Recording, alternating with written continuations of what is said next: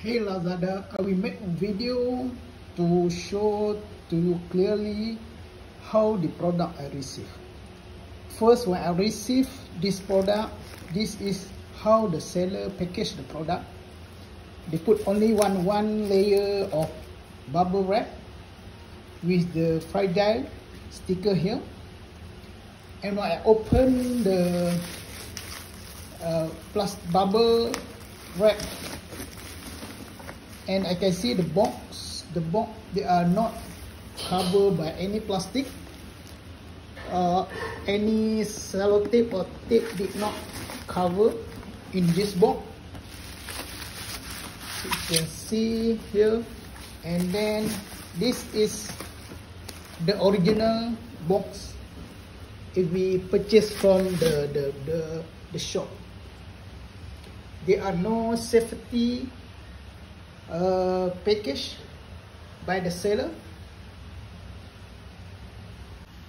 Okay, now what we can see inside the box, there are no safety is support to this uh, package inside the, the box. Only the package, original package, something like this. So we can remove this one.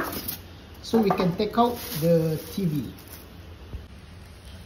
So when I open the, the, the, the product, the TV, you can see I saw here, the one hole, hole here. And this another side also one hole. So this show the, the product already damaged. So, so what happened when this damaged, this means that the screw holder already damaged, already broken. So what happened when we look on the screen,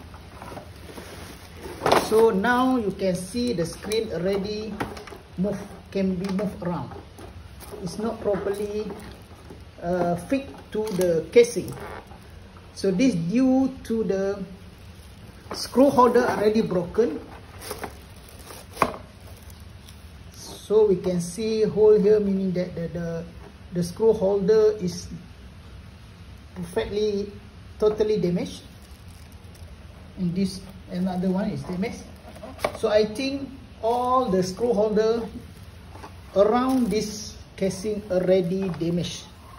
So therefore the screen now cannot be fit anymore to the casing.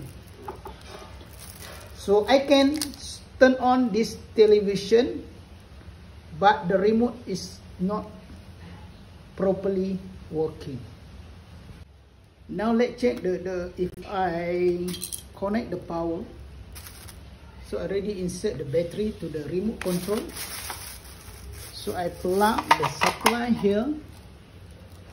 I turn on.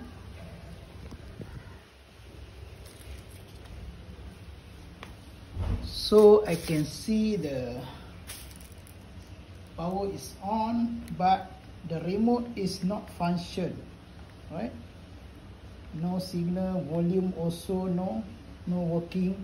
Menu doesn't appear right? Menu doesn't appear by using this remote. If we use the uh, power also cannot be turned off. If i use the manual button behind this casing so i can turn off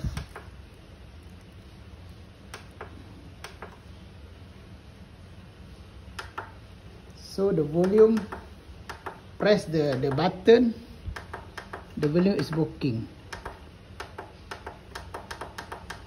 But the the remote is not working. So this totally damaged.